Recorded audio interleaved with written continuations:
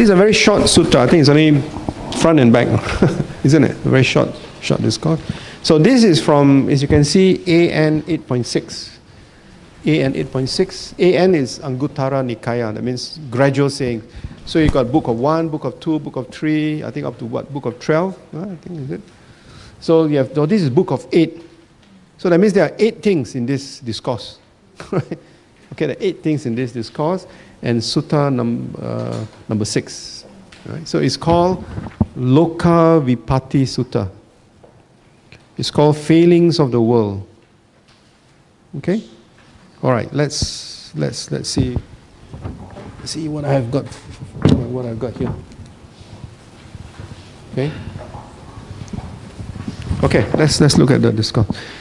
Bhikkhu, so this also addressed to monks, right? But but again, you know, even though they address to monks, it affects lay people too. Okay?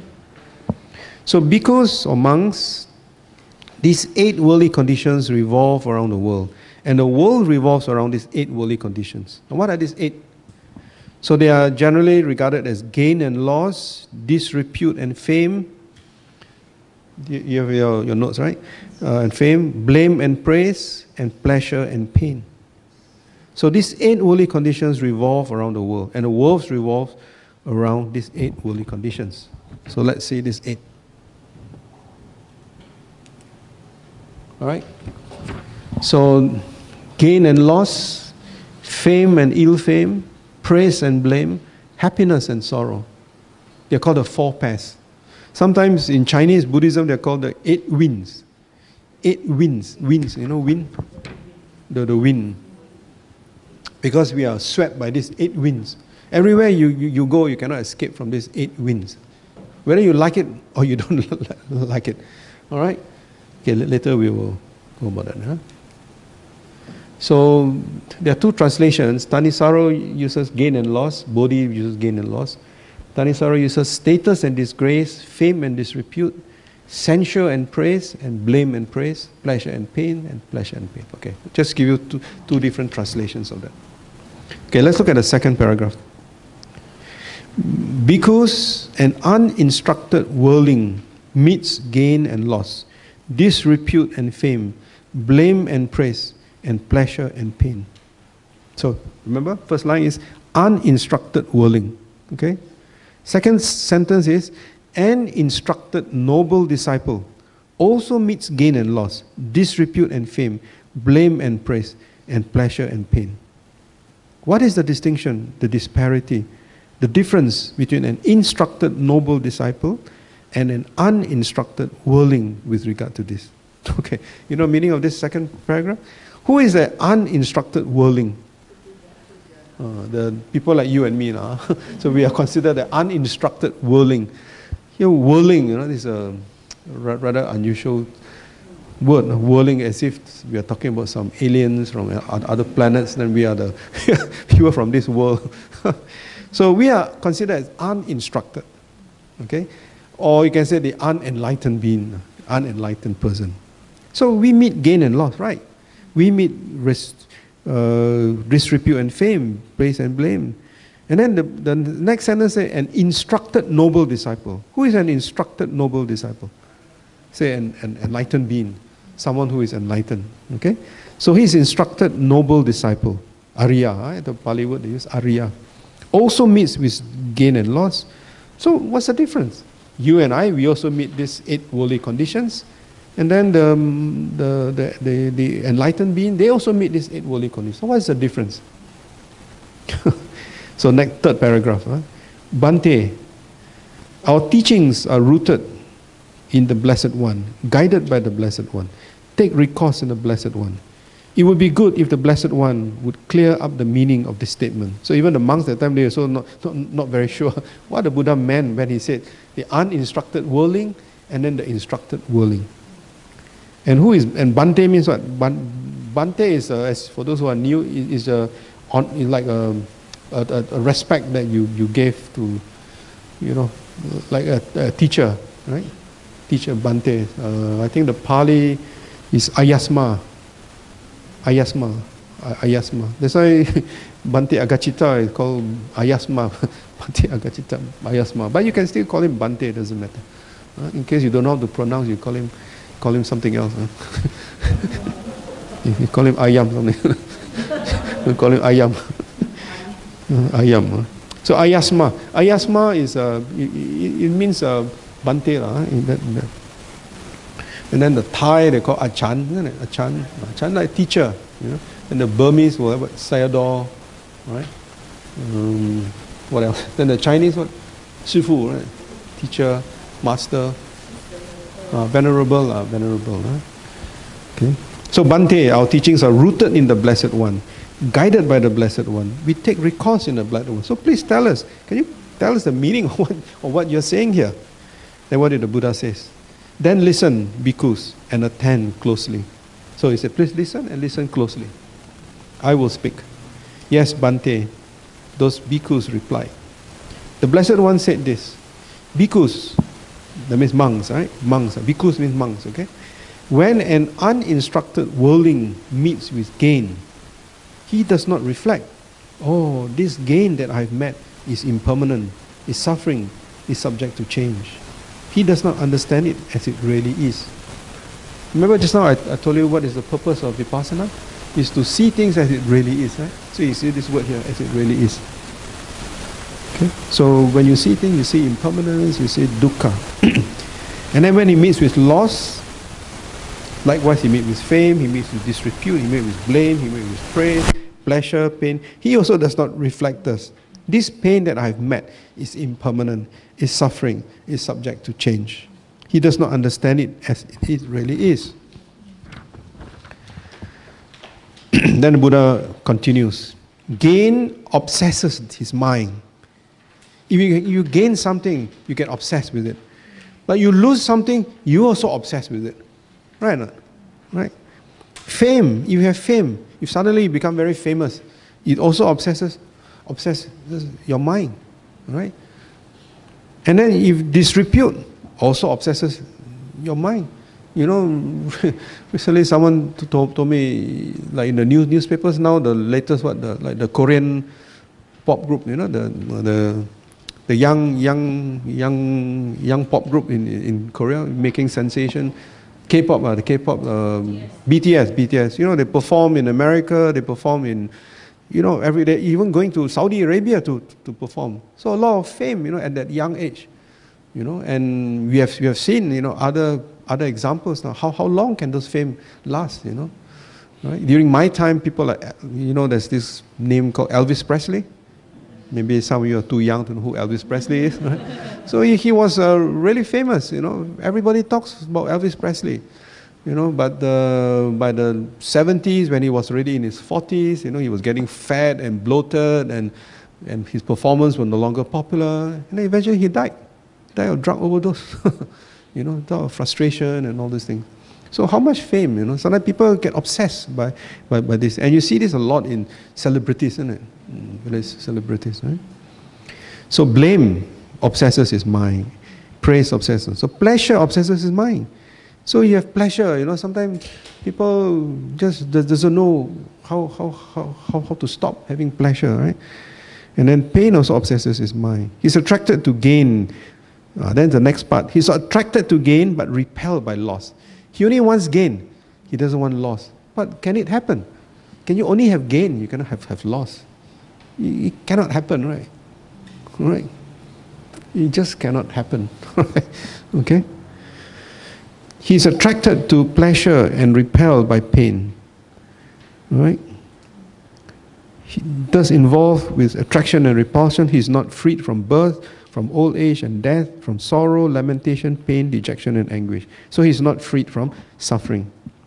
Okay? But bhikkhus, but monks, when an instructed noble disciple meets with gain, he reflects, oh, the gain that I have met is impermanent, is suffering, and is subject to change. He therefore understands it as it really is. Likewise, when he meets loss, he can accept it.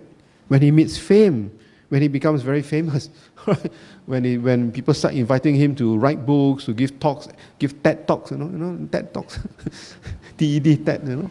Uh, when, you, when you're invited to give TED talks, you become very famous, right? All right, so, you know, you know, there's quite a number of monks invited to give TED talks, you know. You know that? Uh, and then there's repute, blame, praise. How does he reflect? Oh, this pain that I have met is impermanent, is suffering, is subject to change. So he understands it as it really is. So that's the difference. Okay? And then the, the one more paragraph gain does not obsess his mind, and loss also does not obsess his mind. This is about the instructed uh, noble disciple. Huh? Fame does not obsess his mind, and disrepute does not obsess his mind. Blame also does not obsess his mind, and praise also does not obsess his mind. Pleasure does not obsess his mind, and pain does not obsess his mind. So he is not attracted to gain or repelled by loss. He is not attracted to fame or repelled by disrepute.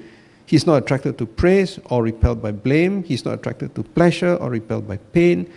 Having thus discarded attraction and repulsion, he is freed from birth, from old age and death, from sorrow, lamentation, pain, dejection, anguish. So he is freed from suffering. This because is the distinction, the disparity, the difference between an instructed noble disciple and an uninstructed worldling. So it's a very short discourse. But what is the key word here? What is it that what is that quality that this this instructed noble disciple has that the uninstructed worldling does not have? Uh, equanimity. Uh, that's the key word. Not mentioned, but that's that's the key word. Okay? So equanimity is not indifference. Some people say you read this, oh, like that, like that become like robot, like that, like, no feeling, really. isn't it? Like no, no, no, no feeling. But that's not the case. Okay, I'll give, show you some slides just to, to explain why, why equanimity is not indifference, right? So the key words here is an ordinary person, which is Puthujjana, and well-instructed disciple, Arya Savaka. You know this word, Arya? No, noble. Savaka is a disciple, follower. Savaka. From the word savakas, from swara, hearing. Hearing. So it's called a hearer. You see, those who become arahats, those who listen to the teachings of the Buddha, became enlightened. They are called savakas. Savakas is translated as hearers, hear. That means they hear the teachings of the Buddha, they put it into practice, and then become enlightened. So they are called savakas. Right? So when you hear the word savaka, so sometimes Theravada is called savakayana. In the to, to, to, the Mahayana tradition, they, they use the word savakayana. Right? Then you got savakayana, bodhisattva yana, pacceka yana, pacceka Buddha yana. So the silent Buddha and then the bodhisattva. So savakas means uh, uh, uh, well, literal translations. literal translation. Exactly. Yeah. That's why sometimes you, like the first five monks that the Buddha talked to, after listening, they all become enlightened. So we wonder ourselves, why are we all try to read so much, try to read so many suttas, attend this, this monk's meditation, retreat, after retreat, meditate, still cannot enlighten. uh, maybe get, get more confused after that. why? yeah, during Buddha's time, very easy. Huh? Listen only, poop, they get enlightened. Huh? And that's because they have already created so much, we, we, we said, paramis, know, the, the perfections, the merits in the past. Right? So some people actually, uh, they, they have this aspiration that, that they know it's very difficult to become enlightened. They say, whenever I'm reborn, I want to, to, to always get the opportunity to listen to the Dharma, to practice the Dharma, so that next many, many world cycles when Maitreya Buddha is, is here, the next Buddha is here, then I'll be reborn under Maitreya Buddha. Then I sit under the foot of the, the, the feet of Maitreya Buddha, and then maybe I'll be an, an enlightened. Uh, but Maitreya may come and go, you're still not enlightened. because even during the Buddha's time, many people, after listening to his teachings, they just walk, walk away, right? Remember the right? Uh, the the first one was that um, Dona. There's a sutta called Dona Sutta there was this, this person, Dona.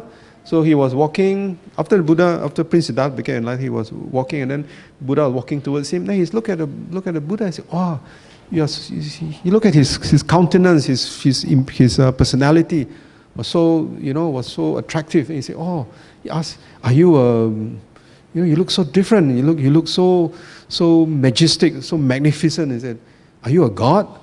Buddha said, no, I'm not a god. Oh, you're not a god.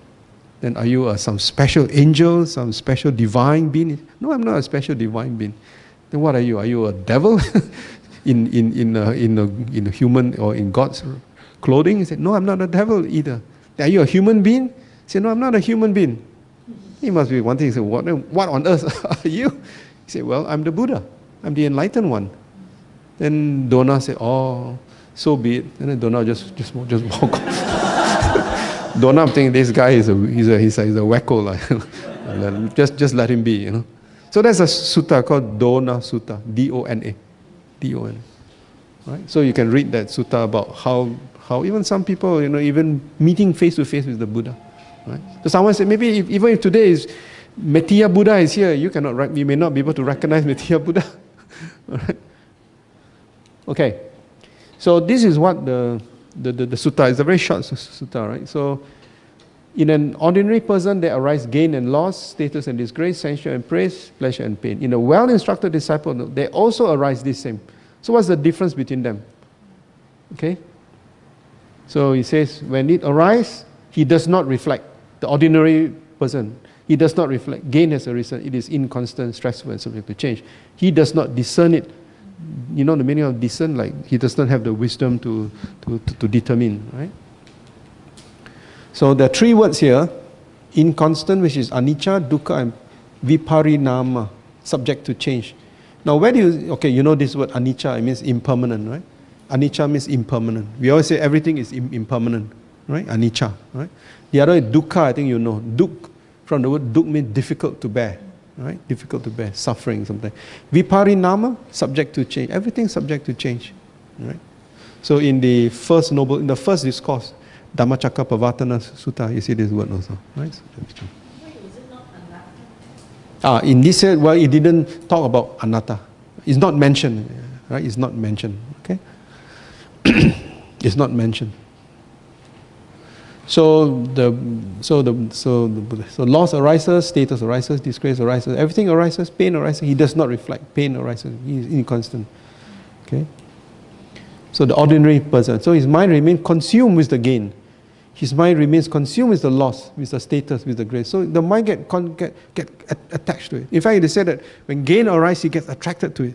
When loss arises, he gets repelled by, by it. He just wants it to, to be away as, as soon as possible. But is it possible? Right? So an ordinary person, he only welcomes the recent gain and he rebels against the recent loss. He welcomes the status and rebels against the disgrace. He welcomes the praise. He rebels against the censure and we don't like to be blamed, right? We like to be praised, right? He welcomes pleasure, happiness, and he rebels against pain. So that's what an ordinary person does. Uh, as he is engaged in welcoming and rebelling, you know, one pair he welcomes, the other pair he rebels. Remember? There are four, there are, there are four pairs, right?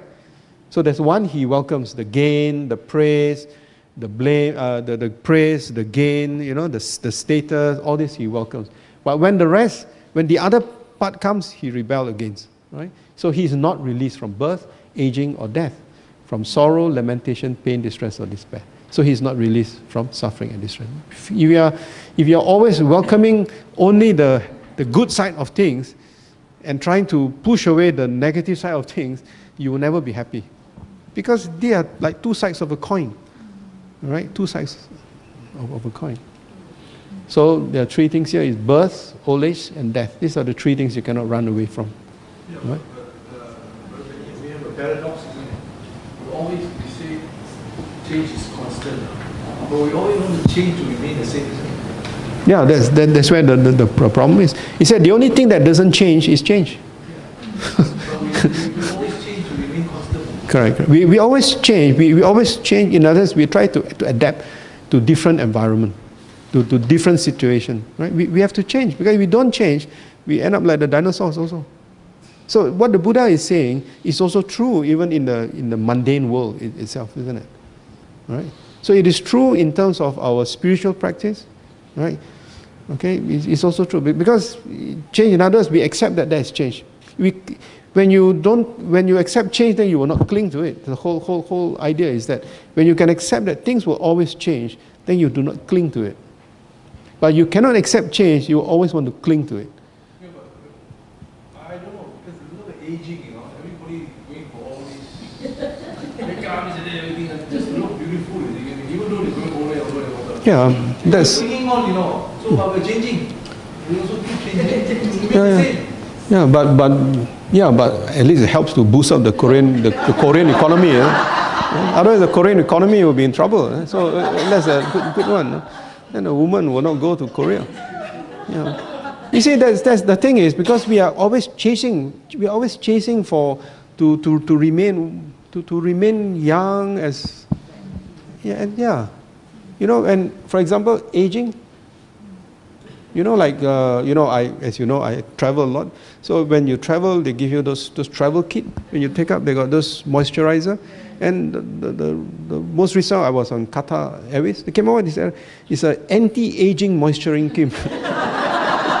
so, as you know, I, I don't think we, you know, by putting that, you know, I, I'm, I'm going to grow younger. But, but that's that's the way hu- human, you know, uh, hu- humanity wants to move move towards. But but that's why it's called we uninstructed worldling.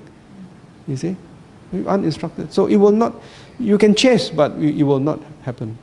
All right. Eventually, people will will, will, will just die. So that's why you have old age, birth, old age, and death. Okay. So then the keywords then you got this word sorrow, lamentation, pain, distress, and despair. So all, all these are the, the part you can skip that. Now, so the, the final one, well instructed person, gain arises for a well instructed. So he he reflects, yeah, gain has arisen in me, but this gain that I experience, it will not stay with me forever. But it doesn't mean that you don't appreciate it. You can enjoy it. But you're not attached to it. You're not cling to it. That- That's what he's saying. Because if you cling to it, how, how long can it last? Isn't it? Right. For example, you know, many people at my age, you know, they've got children, you know, many of them are living home, they will go overseas to study. So, on one hand, it's a gain that, you know, they are going to study. But if you cling to it, say, oh, you know, I must not let, let them go. Then, of course, there's a lot to be, a lot of suffering, isn't it? Right? So somehow, at some stage, we have to, we have to, to let go. That is adapting to the change. You see, but if we cannot accept that, then you got to, then you are in trouble. Some people cannot just let go. You, you must learn to, to, to let go. That's the whole Buddhist premise, you know. All right? There's nothing wrong with change. Please remember that there's nothing wrong with change. Because change is amoral. Change is just the nature of existence. But it's because of our attachment to, to the change that we want things to remain the same as it always is. Can it always be the same? It cannot. Isn't it? If you look, if you look at your, your, your wife when you first married her and you look at her photo now, probably you're saying, Did I marry the right, right woman? oh, married the wrong person. you don't look the same from the photo, you know. You know, in the, when we were in university in 1977, 78, well, today you look so different. You're not a girl I married. All right, so change, but you, must be able to accept that. Right? Okay, so it's, so he, the difference is he discerns it as it actually is. It doesn't mean that you cannot appreciate it. Like happiness, does it mean that you don't appreciate happiness? No. You appreciate happiness. If you if if the Buddha is saying that you should not appreciate happiness, the Buddha would have given so many teachings which tells you to find hap, hap, happiness. Isn't it? In fact, Ajahn Brahm very cleverly he says the third noble truth is not end of suffering but happiness. Right? He gave talks to, to you guys, and he said that the, you look at the Four Noble Truths, he, he, he put it in a positive way. The third Noble Truth is actually happiness, because end of suffering is happiness. Because Nibbana, what is, the, what is Nibbana? Many people say Nibbana means extinction. But the Buddha also has a phrase which says Nibbanang Paramang Sukhang. What does Nibbanang Paramang Sukhang? Means Nibbana is the highest bliss. Nibbana is the highest happiness.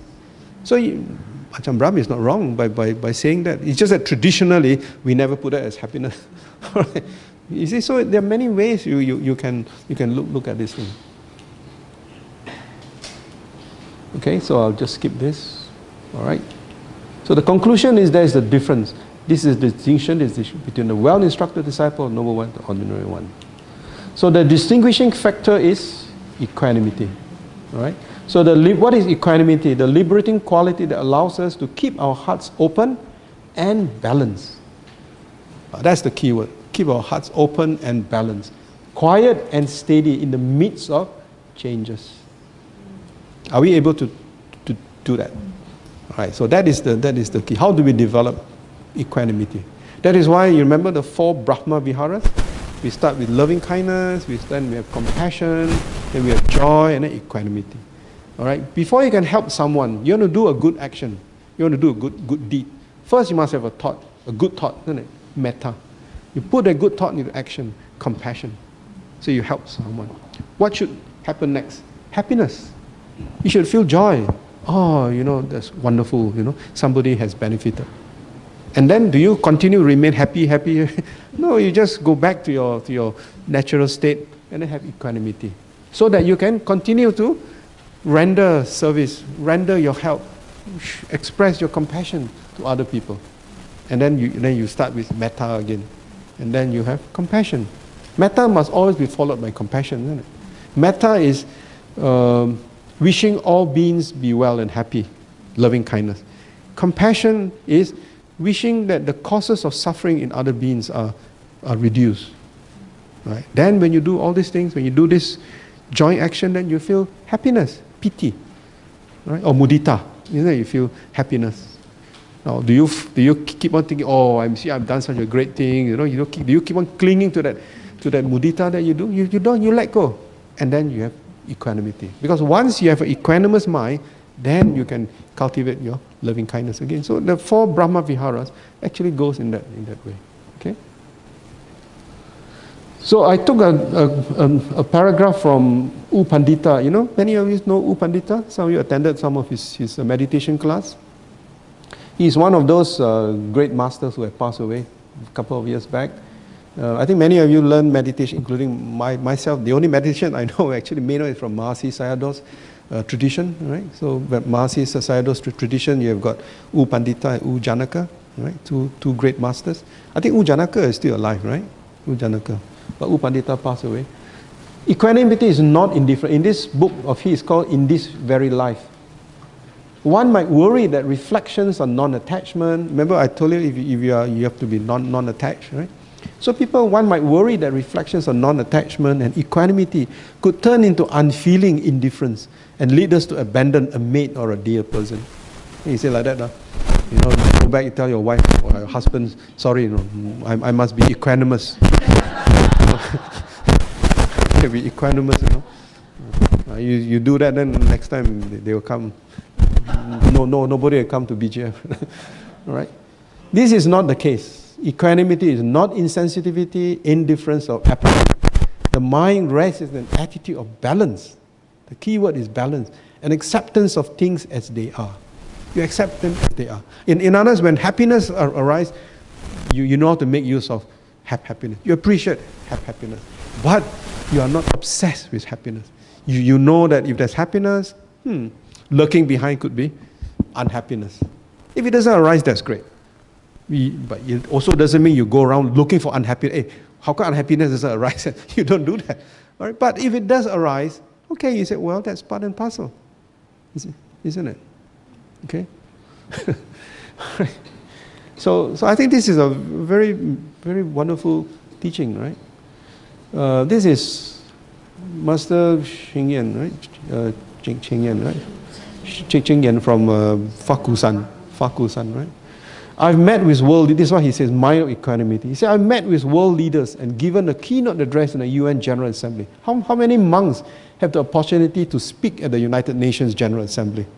Right? Other than him, I think Bhikkhu Bodhi also spoke during Wesak. So he is one of them. My disciples include high levels officials in Taiwan. I was received as a VIP in motorcades in China and Thailand. I'm venerated by my followers. People feel that if they don't treat me this way, it's not right. But it does not make any difference to me whether they treat me this way or not. All right? This is what Master said. He said, I'm famous today, but tomorrow, when I can no longer do what I do now, I will be forgotten. All right? How many people have their names remembered in history? All right? You, you look at look at companies, you, you, you pick up, you know this magazine called Fortune 500? you pick up a copy of Fortune 500 in 1970. You look at all the companies, Fortune 500, and you pick up the Fortune magazine today. Where are all those companies? They're all gone. They're all gone. You see? So, He says, when I'm no, I will be forgotten. How many people have their names remembered in history? How many companies people still, still, still remember, right? Fame, like wealth and power, is illusionary. So a mind of equanimity is necessary in all circumstances. So this is a book that uh, is actually his autobiography. It's interesting. Before he, I think, well, he obviously knew that he was going to pass away. So this book was completed a couple of months before he passed away.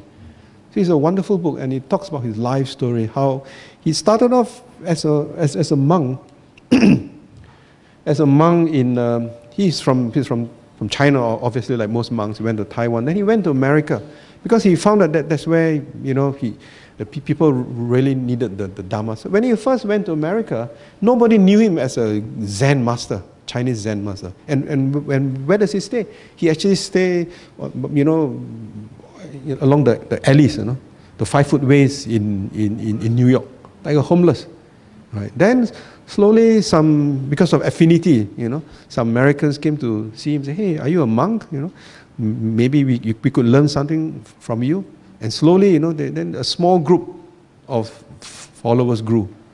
And, and today, he has got universities in America, he has got universities in Taiwan, he has got Dharma Drum centers all, all over the world, including Malaysia. And they've got nuns, I think, uh, well, the present nun has just gone to Taiwan. So they got, they got, they, they, no, no, no, no. There's Master. Yeah. So this is called Dharma Drum, Dharma Drum. Fagushan, right? So, so, so this is Master Sheng Yen, type 2009. Okay? So these are great masters, right? you can get hold of this book. It's an autobiography, very, uh, very well written, you know, and uh, very easy to understand. Right? It's an autobiography of a Chinese Buddhist monk. Chinese Buddhist monk. But he's what you call a Zen monk. You know, Zen Buddhism? So Zen is basically Japanese, but actually Zen came from China. So China called Chan. Chan, right? Hmm. Praise and blame. When praise, are we aware of our reactions? Do we crave for more? I think that's, that's what this question. If people praise you, okay, great, fine. Thank you very much. But don't say, hey, is that all? Uh? Got, got some, come on, come on. oh, only this? I thought, I thought I did more than this. when people blame you, do we justify our actions, accept the blame, or we blame the person who blames us? Then it becomes like the dubacha. Remember the one that we saw in the Vimana, uh, not Vimana, the, what's the name, the sutta? Yeah. Right? So when so when blame, do we justify our actions? Accept the blame, or we blame the person who blames us? so sometimes so these are things we, we, we reflect, right? When we feel badly when blame, can we be mindful of feeling badly rather than get lost in it? Right? Can we let can we let it go since praise and blame are often out of our control? So I'll just put this question is for us to go back and, and think about it, right? We have no answers today. Right? I'm, I'm not asking you to raise your hand and, and give an answer. No, it's something for us to, to, to reflect. Okay? Now, there's a story of Atula. This is in the Dhammapada. This Atula is an old saying. they blame those who are silent. They blame those who speak too much. Those speaking little too, they blame. No one avoids blame in this world. There never was, there never will be, nor does there exist now anyone who is wholly blamed or wholly praised. Isn't it true? During the Buddha's time, uh, Sariputta is, is, supposed to be the, the very analytical monk. So each time people ask him to give a teachings, he will talk. But again, you know, just like now, you know, he may give wonderful teaching, but people, not everybody will understand. Some will then, at the end of the talk, say, oh yeah, this monk talked too much. I don't know what he's talking about. Oh, so difficult. So they said, okay, let's go to another monk. So they went to Maha, Mahakassapa. Mahakassapa is supposed to be the great meditator. So, so when, when they say, Mahakassapa, can, can you talk, can you teach me what's the Dhamma? This Sariputta, he's teaching, don't know what he's talking about, too abstract. Huh? Too many thought moments in one thought process, those kind of stuff. Then Mahakassapa said, Oh, very easy. Sit, close your eyes, meditate. so they said, they said for, for a few minutes, five minutes, ten minutes. He said, What? Is that all? Yeah. Then he said, The one who talks a lot, you blame. Now I don't talk anything, you also blame. So, so what do you want?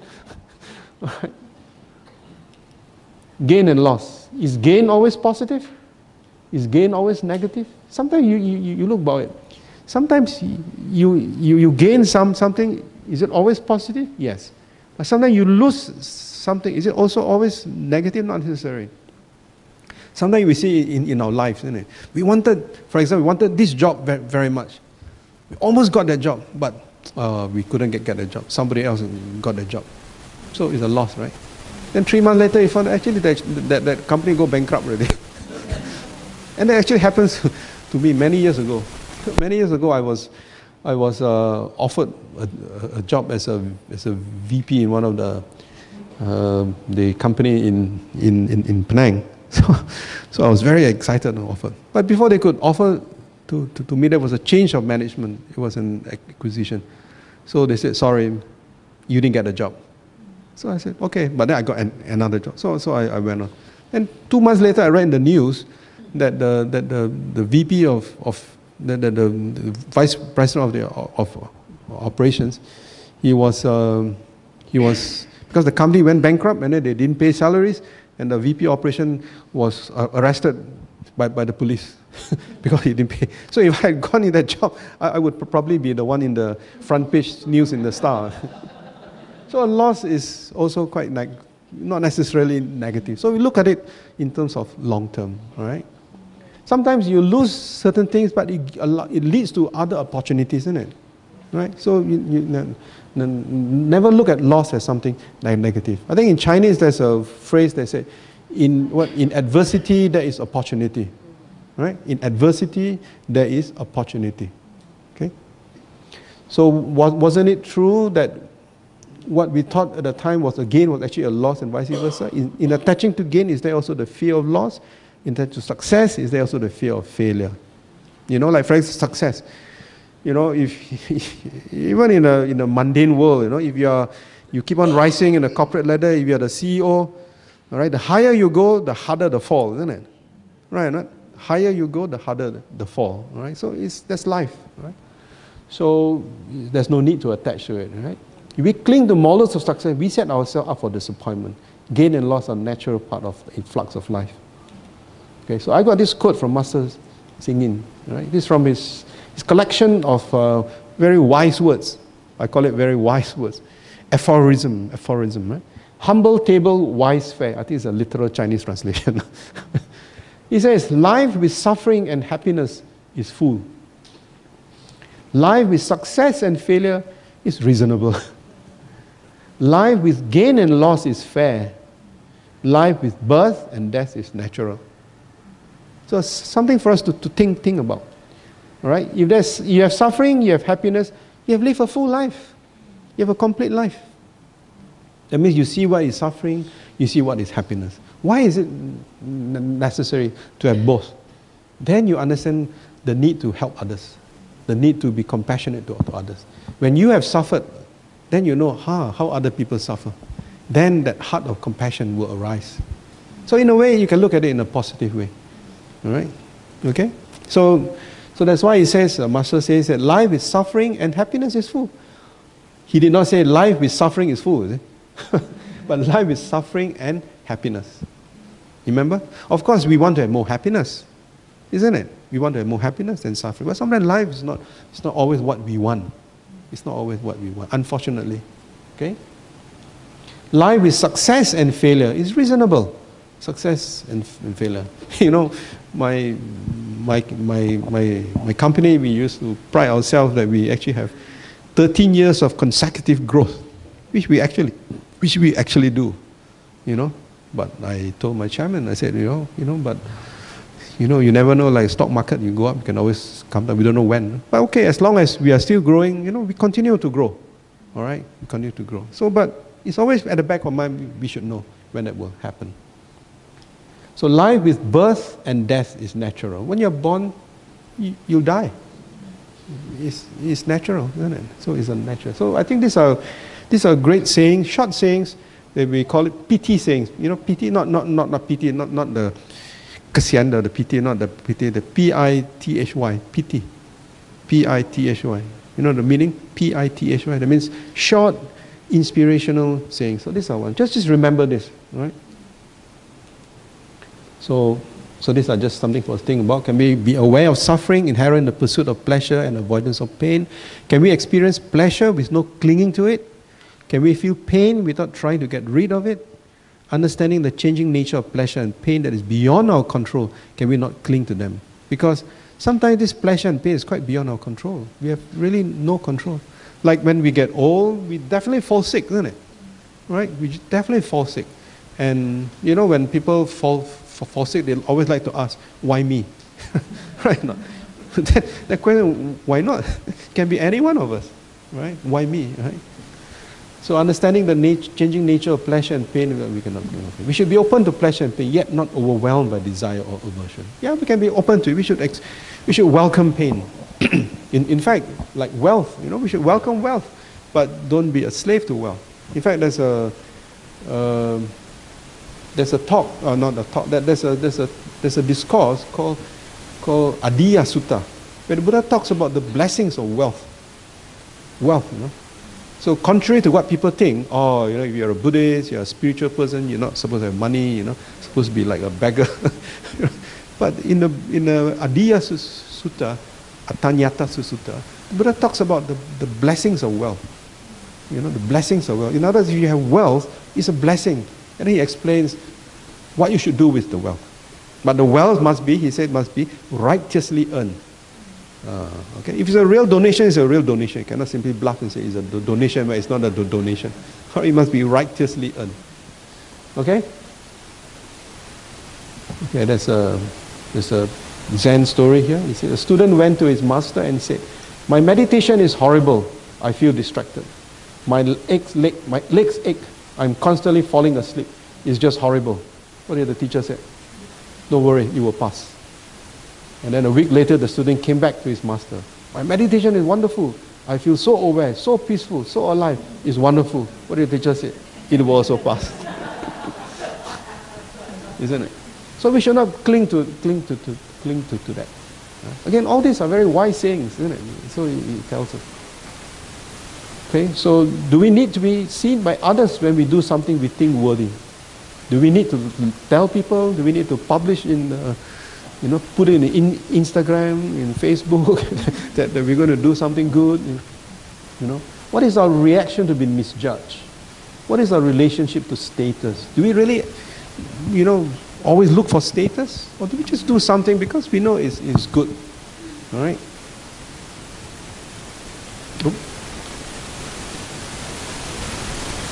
So being aware of relationship to fame and disrepute allows you to be free from from from dependency on opinions of others. So if we think that we are doing something good, all right, you, you spoke to your maybe your, your, your teacher, your master, you know that you're doing something good.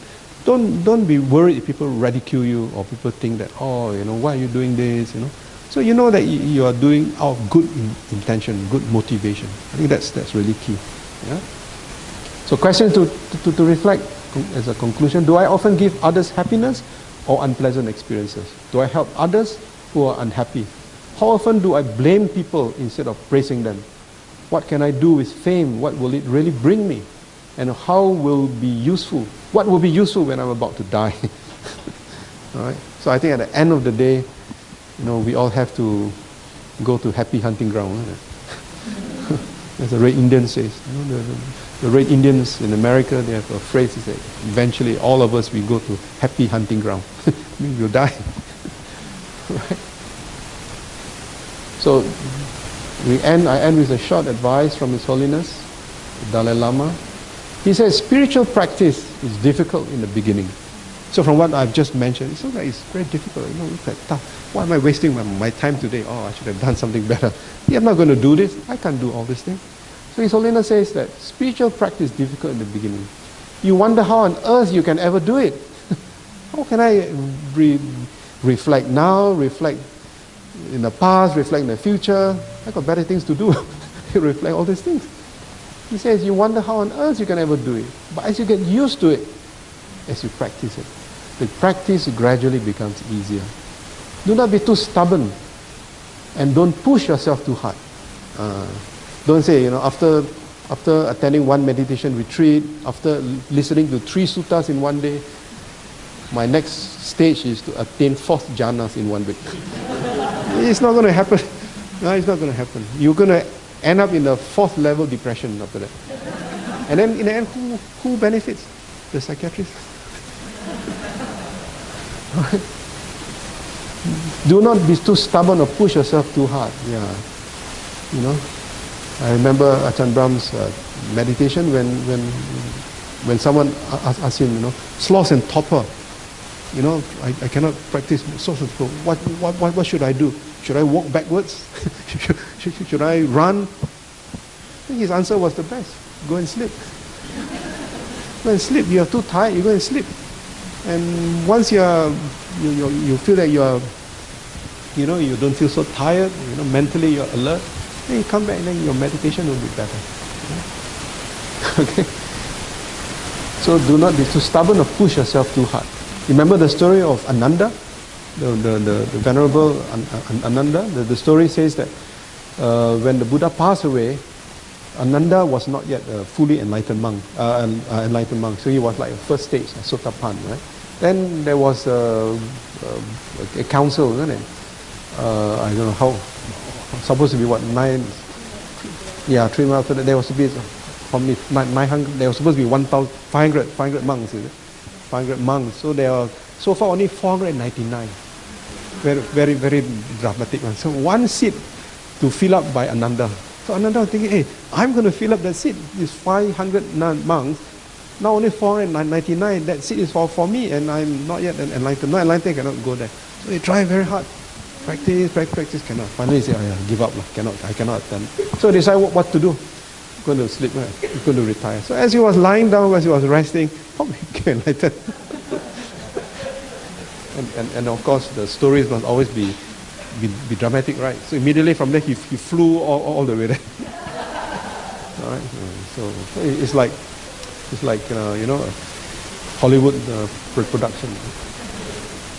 But that story tells you that if you, uh, you know, the five hindrances, five hindrances, sloth and torpor, restlessness and worry. If you are restless and worried, how can you practice? You, you, can't. You are too tired, sloth and torpor. You know, sloth, like the sloth, very slow you, you cannot. So you're restless, you're worried, you cannot. So make sure you are calm. So as you gain inner strength, your positive actions will gain in profundity and scope. So I think this message is very important. It kind of a, tells us that you know you don't you don't have to worry that you know well I'm so junior. How am I going to attain all those lofty ideals? You know, we're talking about fifth jhanas, four jhanas. You know, impossible. You know? But nothing is impossible. So the conclusion for, for this is, is, is that, uh, I think that's the last slide. Oh yeah, that's the story of Su Tung Po, the last slide. You know the story of Su Tung Po? You know who is Su Tung Po? He lived in the 12th century. He was a Chinese poet, uh, government servant also, right? And those of you who like to eat po you know, right? The famous uh, Hangzhou, Hangzhou cuisine, right? Uh, so tung, po is actually named after him. Uh, so when each time you read, you, you eat tumporo, I, I mean, I'm sorry if you're vegetarian. you, eat, you eat tumporo, remember Su Tumpo. Have you heard of this story? How many of you have, have, you, have, have heard? No? You have heard? No. You have heard? So many of you haven't heard? Oh, so you're, you're not Chinese. Huh? Oh, terrible. Mm. Jing was such a strong exponent of China. Then you guys, okay. Su Tung Po, okay, it's a, it's a very interesting story. Su Tung Po is a famous Chinese poet. He wrote a poem ending in these two lines. The eight winds cannot move me, sitting on my purple golden lotus seat. You know the eight winds? The eight, eight, So he was, Su was very pleased with himself and decided to send his servant on his horse to take the scroll with the poem over the Yangtze River to his good friend, a Zen master for his comments. So Su Tung Po, as you know, is a poet so he wrote this on Chinese, uh, the calligraphy. He said the eight winds cannot move him. He sits on a gold, purpose golden lotus seat. All right. So he said he was very pleased. So he said, you want to write this calligraphy? He has got a friend who is a Zen monk, Chan master. So he asked his uh, servant, you know, please take this calligraphy and give it to this Zen master. This is my, my, my, you know, my excellent work, my calligraphy. So after many, so of course the servant went. So after many days, the servant returned. Su was very excited. Sent for the servant and ah, what did my friend the Zen master say of my poem? He said it's an excellent piece of calligraphy that I wrote. He said wonderful. The servant said, the servant maybe he, he was a bit reluctant to say. he said with due respect, sir. He said nothing else except fat fat. P ah, P P fat P. P ah, P. You know that means fat, fat. Which in Chinese means what a load of decaying, smellish hogwash. I mean, what a rubbish, you, know, it's like, you know, people shit, no, that you're excreted, so, so what is that?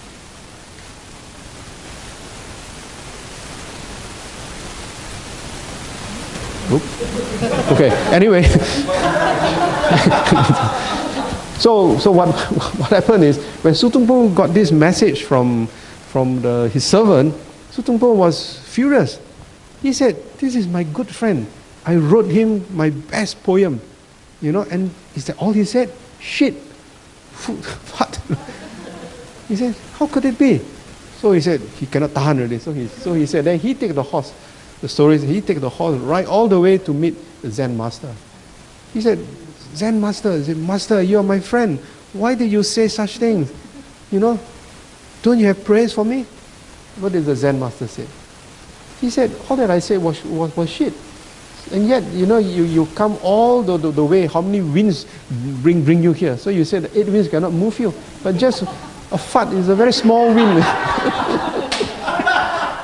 just a fart is a small wind. You know, the fart cannot, cannot move anybody.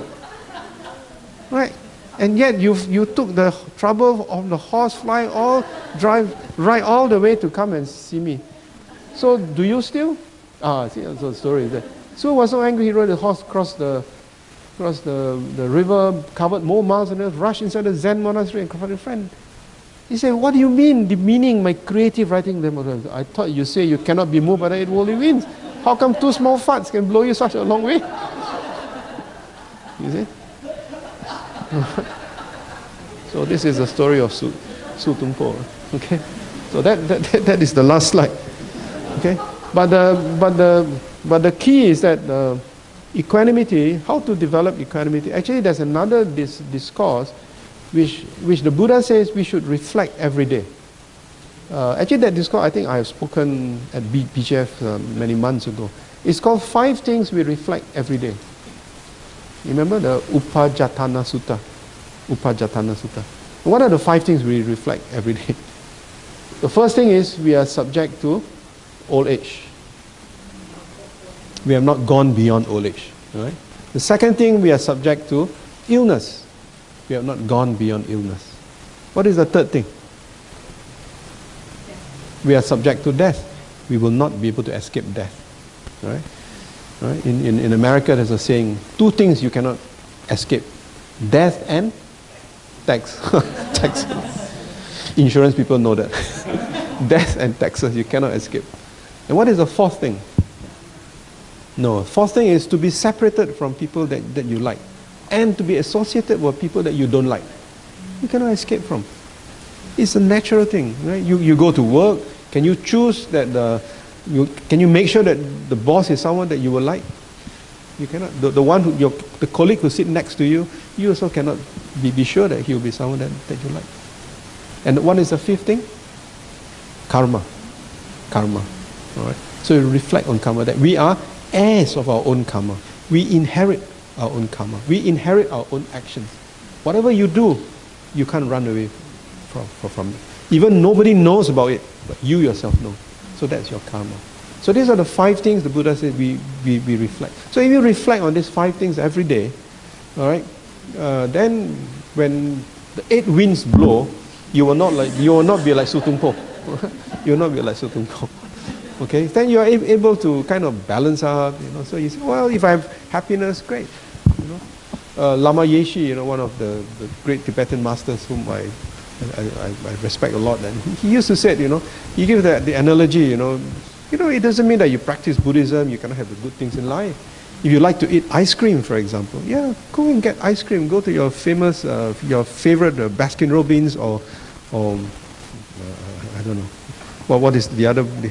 Häagen-Dazs, you know, or Tom and Jerry, you know, what, what, whatever brand, But if on that day itself it doesn't have your particular flavor, don't make a hell of it. Don't don't don't throw tantrums.